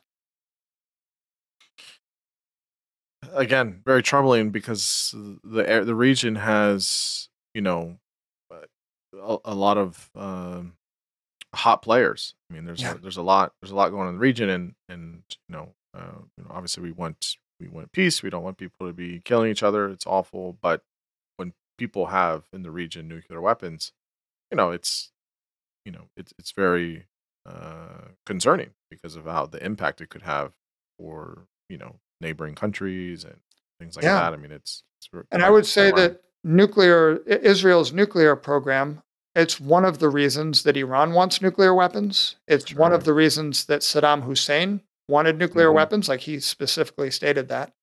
Yeah. Um, and other countries in the region, like like Egypt, Mhm. um, Mm. you know, there there is a proliferation problem right now in the Middle East, and it's being driven by Iran, but they are responding in part to Israel. Um, and you know, Saudi Arabia has uh, suggested that they want all aspects of the nuclear fuel cycle, which would allow them to have a hedge capability as well. Mm. So um, that's the problem with these weapons is they give the illusion of security, but they're likely to inspire actions by your neighbors and adversaries that make you, when all is said and done, less secure. Hmm. Somebody we haven't talked about is China, or we haven't talked Yeah. about it a lot. What's what what's the play there? I mean, Yeah. is is are they ramping up their nuclear, you know, kind of stockpile? Are they China seems to me, just again, just from a Yeah. pure observation, they don't like getting involved with stuff. They they Mhm. kind of like to just be like, look, we're cool, but we're not going to get involved formally or whatever. And what what do you they have nuclear weapons. I mean, what is their kind of play? They're just kind of watching stuff and just letting it all go, or is there a space where China does get a little more hands-on involved? Yeah, so they developed nuclear weapons in the 1960s and they saw them as a weapon of last resort. And a lot of their nuclear doctrine for the past 50 years was very much rooted in this Maoist view that nuclear weapons are paper tigers, that we won't be threatened and coerced by the larger nuclear arsenals of the Soviet Union and the United States. We believe it's enough to have a few nuclear weapons that we could use to destroy your cities and that will inflict enough pain and punishment that you would never mess with our vital interests, right? Mm. So, for many years, China had a very small and recessed nuclear arsenal. And then, you know, around 10 years ago or so, maybe earlier, that started to change. And they are now building the sort of nuclear arsenal that the United States and the Soviet Union had. So, these large active arsenals um, with advanced command and control, multiple platforms to be able to deliver these weapons. They're, they've gone already from around 200 weapons to 350 weapons. And the Pentagon estimates that they're going towards 1,000 or 1,500 nuclear weapons within the next 15 years. So they are ramping up their production very quickly. And I think part of it is just a change in strategic culture. Part of it is uh, Xi Jinping, whose desire is to have a larger role for China in the world and in the Western Pacific to try to resolve the Taiwan issue. And to be able to do that, they want to be uh, to have a nuclear arsenal that is similar to that of the United States and Russia, um, so that they can't be coerced and bullied. And I think a big part of that comes down to this sense that they had um, in the 2000s that they were vulnerable. And that if the US used nuclear weapons first against them, or even used conventional weapons first against them, that they might not be able to retaliate.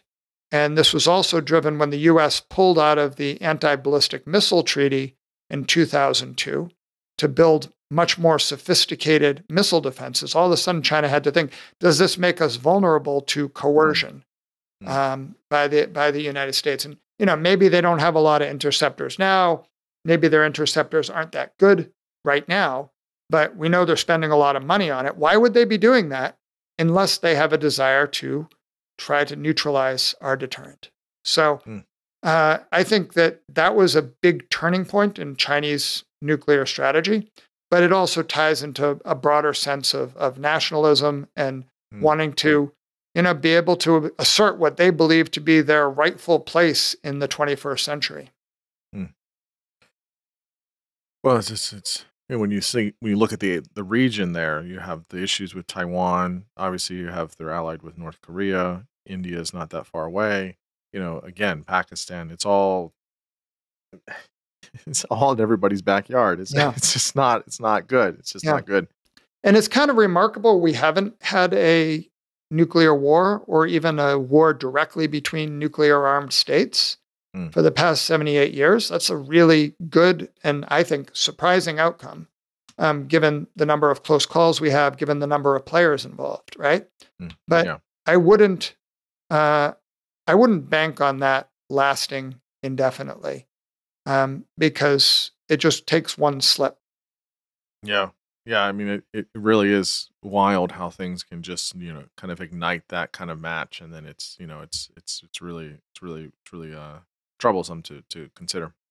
I guess about the U.S. side of things, are we, we're not testing uh, We're not. weapons. We're not. Do you think, do you think that will happen? We'll, we'll resume testing? So the anytime soon? U.S., from what I've heard, does there are lots of scientists and technicians in the U.S. who would like to test uh, in order to be sure of the viability of the nuclear arsenals. So, Hmm. based on simulations uh, and estimations, we believe the arsenal to be very reliable and secure, and certainly a lot of money is spent on that. Um, but over time, you wonder uh, are these things really going to perform as they were designed to perform? Some of these weapons are 50 years old, 60 years old, right? So I think some people in the US nuclear enterprise would like to test, but they don't want to be the first to test. Mm. And so I think some people would welcome a Russian nuclear test. Uh, we see activity now around Russian test sites. We hear them talking about maybe they need to test. Um, so I think some people in the US would welcome that. But I think the, the, the position of the Biden administration and others is that we don't need to test. We have safe, secure, and reliable weapons for the foreseeable future. We want to work towards a world of fewer nuclear weapons. And if we test, we allow China and Russia to then test. And you know, you you don't you need testing for two reasons. One is to ensure the viability that the weapons will still work, but also testing allows you to develop new designs Hmm. and to, or at least to test out the new designs that you may have already created. Um, and that allows for maybe low yield nuclear weapons or nuclear weapons with specialized effects. And I think there's some evidence that Russia and China would like to be able to do that, but they Mhm. ha- would have a hard time doing that without additional testing. So once the test, there's been a moratorium on testing. The only country that's tested in recent history is North Korea. Mhm. Um, but that opens up this whole Pandora's box, right? Because you have this comprehensive test ban treaty that has been signed, but it hasn't been ratified by all the parties. It hasn't entered into force. It's not legally binding. And if that agreement unravels, that's another one of those impediments to countries getting nuclear weapons or improving their nuclear arsenals. Um, it's better if that stays in place, right? If they if they do, where do they usually test? They still do it out in you know Nevada. Yeah, they do it underground now. I mean, the U.S. hasn't done a test in decades, right? But if they were to test, they would test underground in Hmm. remote locations. Well, And what about these hypersonic strategic missiles? Yeah. Um, maybe describe what they are. It's kind of maybe more new tech. And we haven't, a similar question, we haven't, I don't think we've deployed a system with them, or, maybe we have. But kind of just tell us what they are and what we're, Yeah. our stances on them. So there's a variety of, when you say hypersonics, that encompasses a variety of different weapon systems, right? And, you know, they, the definition, I believe, is moving five times the speed of sound or faster. But then our ballistic missiles actually move 20 times the speed of sound. So they're much faster than hypersonic weapons. So what's distinctive about the hypersonic weapons is not their speed, but it's a combination of speed and maneuverability and the types of platforms they can be put on. Um, so, you know, US, Russia, and China all have hypersonic programs. I think that the actual impact of these systems is pretty overhyped, to be honest. Right? Mhm. It's they can be detected, they can be shot down, they're not invincible. They there are some specific advantages from hypersonic weapons that you can attack from different uh, from different angles. Um, but it's really hard to design something that can move really, really fast and be really, really maneuverable, Mm. right? Um, so I'm not, I don't think the presence or absence of hypersonic weapons really changes much in terms of the broad strategic landscape, but they're, they're an excuse that all countries will use as to why they need more money to develop more systems um, to counter what's going on in other countries. Hmm. So we're likely to spend a lot of money on these things, even if they have um, questionable um, marginal benefits. Now, I haven't asked this question, but it's going to be connected to uh, uh, another question, so I've kind of saved it. Can you, if, if you're able to describe it, what if some if if if President Biden says we want to use a nuclear bomb on this location in this country on this site for whatever, right? Whatever reason. Let's say it's a retaliatory, whatever. Yeah. Currently, what's that process? Does he just say, "Give me, give me the the football or whatever it is, and here, put in the codes, and I push the button, and then boom, it's off"? Or how, how what's the process of actually deploying or giving the okay? Like, what's that kind yeah. of process so of doing that? We have in the U.S. we have systems in place to try to ensure that only an authenticated order from the commander in chief could lead to nuclear use. And in practice, the president has a set of codes. They're kept on his person at all times, right? It's called the biscuit. It's like a little capsule with a piece of paper in it, right? And those are the authorization codes. So if they if there were a decision, if there were a crisis that required the president to contemplate using nuclear weapons. Uh, presumably, he or she would call a crisis conference and would mm. bring together key advisors, right? And they would present the information, they would present the war plan. And then the president would be the sole decider as to whether nuclear weapons were used and which of the war plans was enacted, right? And then once the president made that decision, they would read that authorization code off of the biscuit, and that would be transmitted to the strategic command and then out to the operators who would set in motion that plan. Um, to this day, there is no legal check and balance on the president's authority to use nuclear weapons and this goes back to the Truman administration, mm. where Truman, uh, after after Nagasaki, you know, he he basically said, "Don't use any more of these weapons without my explicit authorization." Um, so it was in effect to try to take control back from the military, right? But it has led to this state of affairs where there really is one decider, and they have almost king-like authority in this one realm, right? Whereas every other thing in our system is built on this set of checks and balances, right? When it comes to nuclear use, there's still one decider. Yeah. So this literally is just how it's always been since the bomb was created, essentially, is the one person decide. Like, we're literally, that is one person's decision. Yeah. Sure, advice, whatever, whatever. But everyone could tell him, like, no, don't do it. He's like, you know what? I heard your advice. I'm still going to do it. Like, it's, it's, there's no committee. There's no there's no committee. There's no ethics board. there's no. I mean, no, it's interesting that you say there's no ethics board because um, under the uniformed law of armed conflict and embedded in U.S. military practices, um, there is a requirement to refuse an illegal order, right? So the the commanders receiving a presidential order, if they deemed it to be illegal, they mm. could refuse that order. Mm. Um, and this was a point that was raised by General Hyten when he was the head of Strategic Command. And people were talking about President Trump potentially using nuclear mm. weapons in an unhinged way. And he hmm. said it would be our responsibility to refuse an illegal order. But in practice, all of those war plans that are pre vetted, there is some legal review of those war plans before they become formalized, mm-hmm. but they've all been approved as legal.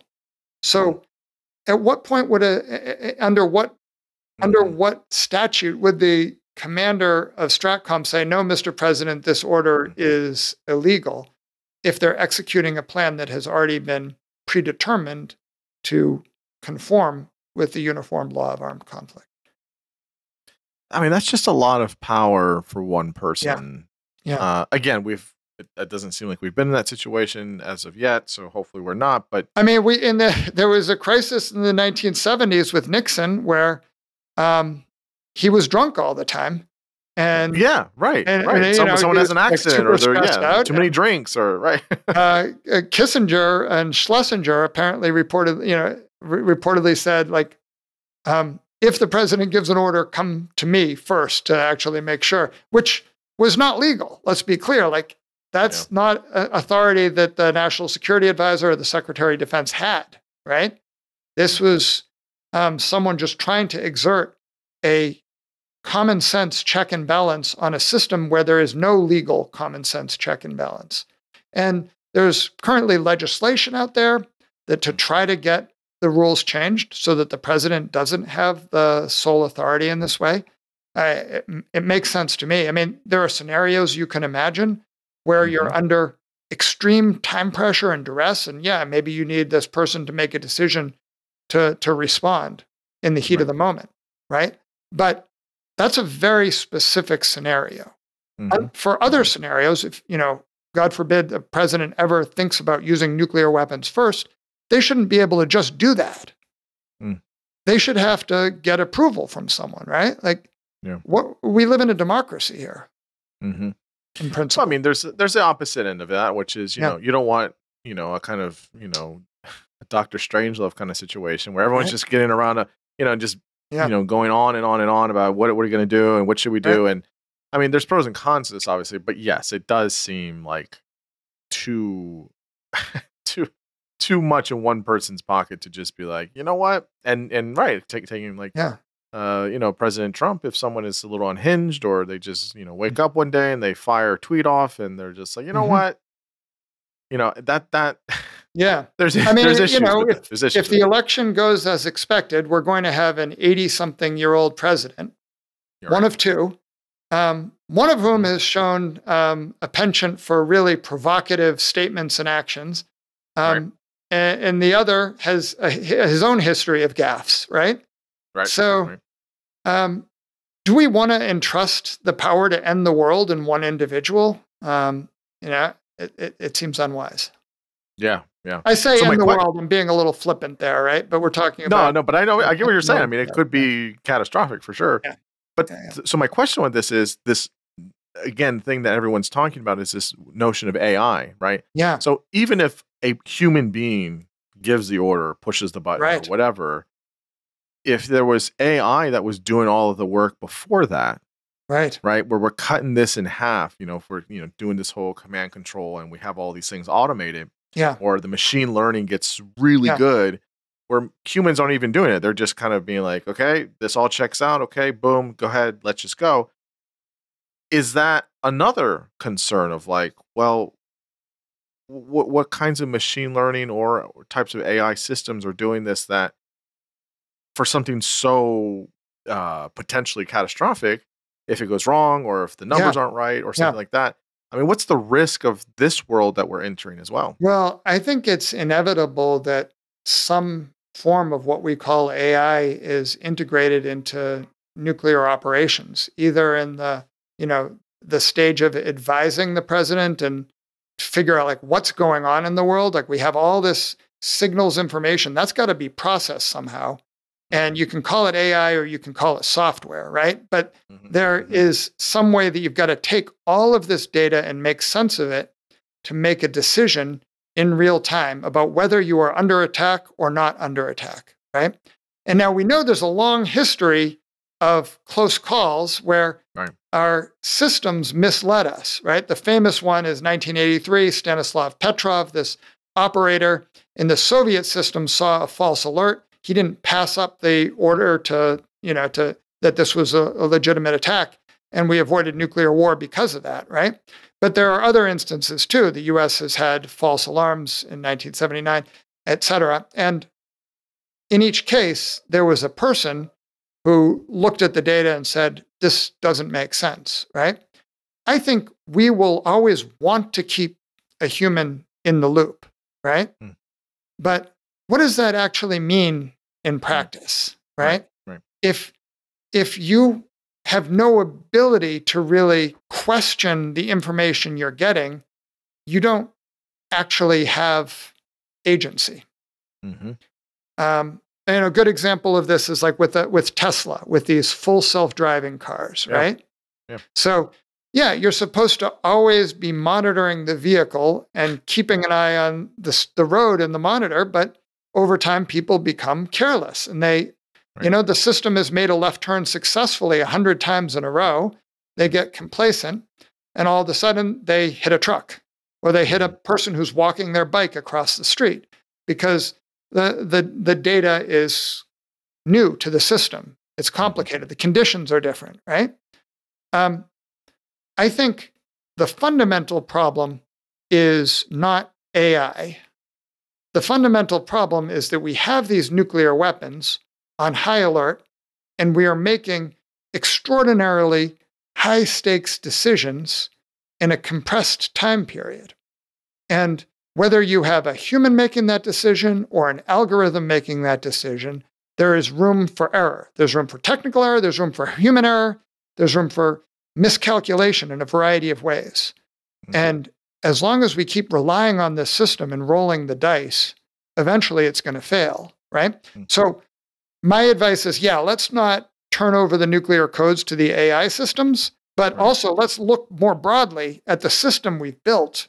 Mm. And it's a system that is driven by a need for speed. Do we need to move as fast? Can we be more contemplative?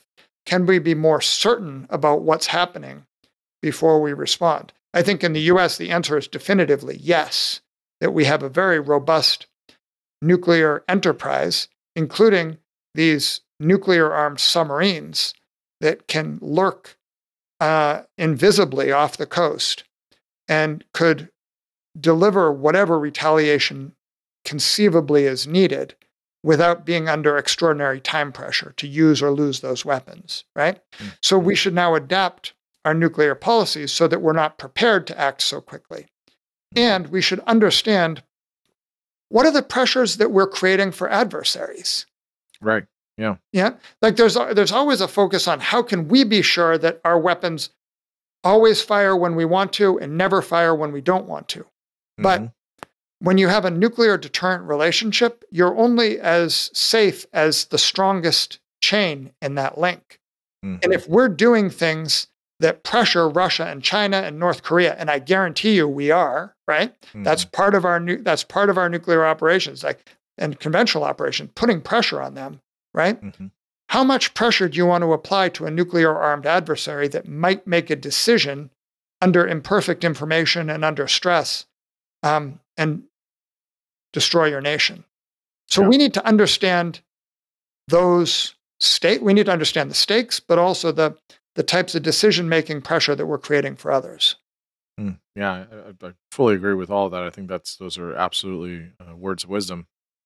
So the last question I have for you is maybe just end us with talking about the work you do at. Longview and how we're you know you're trying and, and folks over there are trying to help push for a healthy nuclear security, non-proliferation, uh, all of these things, and, and what are you know what the the future can be or what what is envisioned for a future yeah. uh, that's a healthy nuclear one yeah so governments have always been in charge of these weapons but these weapons affect all of us right? It, it's really a matter not just for governments but for citizens too.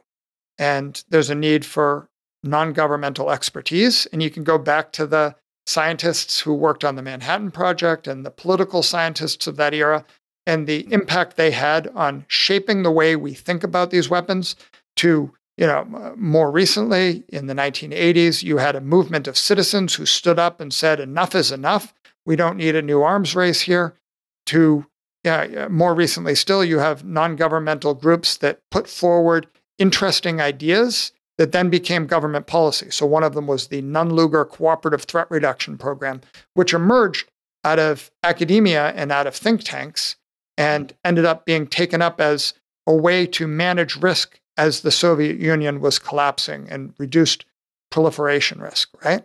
So a lot of good ideas have come out of non-governmental groups, a lot of political pressure.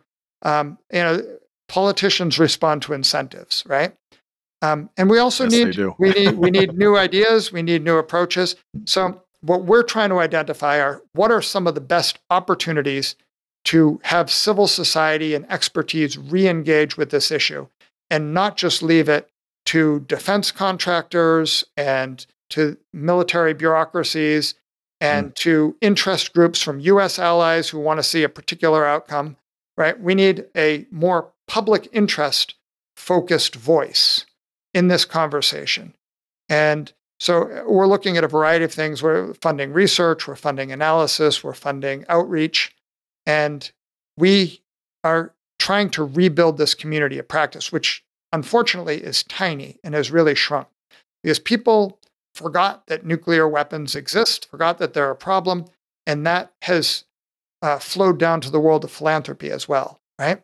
So you think about the big problems facing humanity, right? You've got climate change, you've got nuclear weapons, you've got AI, biotechnology. There's a variety of things that are big problems that face that, that face the planet, right? Um, right now, we're spending about a billion dollars per year on climate philanthropy, and that's important. It's tiny in the world of philanthropy, but it's really a lot of money that's going to good groups who are doing technical research, policy research, et cetera. In comparison to that $1 billion per year, there's about $30 million spent per year on nuclear philanthropy. It's a tiny community of practice. And a lot of these people are, are, are, have deep expertise, a real passion, and good connections, and an ability to uh, really contribute good ideas. But they're, they're gasping for oxygen. There's just not enough funding in this space. Um, so that's what we're trying to rectify. with with that, you were talking about how do you get the public involved? So it's not just for Yeah. bureaucrats and military defense uh, uh, personnel. How do you kind of kind of um, guard against this kind of notion that a lot of the times when there's seen as a problem and a problem with really big consequences, catastrophic consequences, at least in the United States, I would say maybe in other countries as well, typically what tends to be the response publicly in terms of engagement or in terms of trying to do something is hysteria or Mm, sensationalism. yeah. How do you ward off against that and Right. make it more tangible and pragmatic for having Yeah. people involved? I mean, that's that's my fear right now is that we are headed towards a new arms race um, as the New START treaty expires, as China builds up its arsenal. There are a lot of people within the nuclear enterprise and the defense establishment that believe the U.S. needs a lot more nuclear weapons, um, and it would not be all that expensive to Mm. increase the nuclear arsenal compared to other things we're spending money on. You know, we're spending a ton of money on the nuclear arsenal, right? Uh, Like a trillion dollars over the next 30 years. But the marginal increase to have twice as many weapons is not a, you know, it's not a big part of that. And so I think you could have people responding to these threats and to threat inflation, supporting um, much more hawkish policies and an expansion of nuclear weapons. And you know, the goal might be to gain an advantage against Russia and China. And for a while, you might be able to do it. But unfortunately, these things have a way of finding an equilibrium. And in the end, we will be less safe because Russia is not going to stop, China is not going to stop if they feel vulnerable. Um, so, but wouldn't the argument be Yeah. that with all the conflict we have in the world at the moment, it's like serious conflict, Yeah. right? The, Yeah. the war in Russia with Ukraine is, is a big deal. What's going on in Israel is a big deal. I'm pretty sure, I mean, what's going on in Syria, I think. Yemen still has a conflict and war. I mean, there's a lot of stuff lot going on. going on. Yeah. Wouldn't it These things be come in batches, right? we- we can't we can't be saying, you know what, you know, Carl, this is nice, but Right. no, we can't be downsizing, Right? Right? That hmm. doesn't make sense right now. That was cool when Obama did it and we were trying Yeah. to get out of Afghanistan, Iraq, and stuff, but you know, we should be going the other way. We should be Yeah. making more weapons. What, what do you Right. kind of say to, to, to that? I think that's the argument we're going to hear again and again. And I think it's important to remind ourselves what the US nuclear arsenal looks like. Yeah, it's 1,550 deployed weapons plus a hedge force. And these weapons are essentially, most of them are on submarines, they're uh, invulnerable. And each of those weapons is capable of destroying an entire city, right? So when someone tells you they need more weapons, for what? What is that going to buy you? Is it just in order to be able to say you have as many weapons as your adversary? There's such overkill already built into these arsenals. We have nuclear sufficiency, and maybe it's not time to be moving towards smaller nuclear arsenal in the time when our adversaries are ramping up. But there's no need to run that race because we know where it's going to end up. Uh, I guess one of the other things that you mentioned, and I'm just thinking about it, you said that New START expires. When does that expire? In February 2026. But it's already on the ropes. Uh, yes, Russia has stopped sending their, their New START reporting. There are no on site inspections. So, uh, US and Russia are both holding to those caps that are established in New START. But as of 2026, that treaty will go away. It'll be the first time in something like 50 years that we don't have a binding arms control treaty between the US and Russia. Well, I'm just thinking about who's going to be the United States president in 2026. That would be really important that it's somebody that is committed to nonproliferation. Um, yeah. And that's a worry. Um, yeah, when you select a president, there are lots of things the president can do. The president's given um, a lot of responsibility for things that they don't have much control over, like mm-hmm. the economy, right? Mm-hmm. But one right, area right. where we know that they actually do have control is over certain aspects of defense policy and especially nuclear policy. So um, that's something everyone ought to consider when casting that vote. Yeah, absolutely. Well, you've been so generous with your time, Carl. I've I've been thoroughly um, I mean, more informed than I ever ever thought I could be on this, and so I'm very yeah, grateful, and I'm sure listeners will absolutely love this. Um, yeah. Obviously, uh, I can point people to to Longview. Uh, yeah, where I, any I should, other places? I should mention, yeah, um, we have this nuclear weapons policy fund, and the goal of that is just to make it really easy for people to contribute to good organizations and good experts doing work in this space. Um, so we do all the due diligence and the investigations and we just try to make it easy, like a one-stop shop. There are other, there are a lot of great groups operating in the space.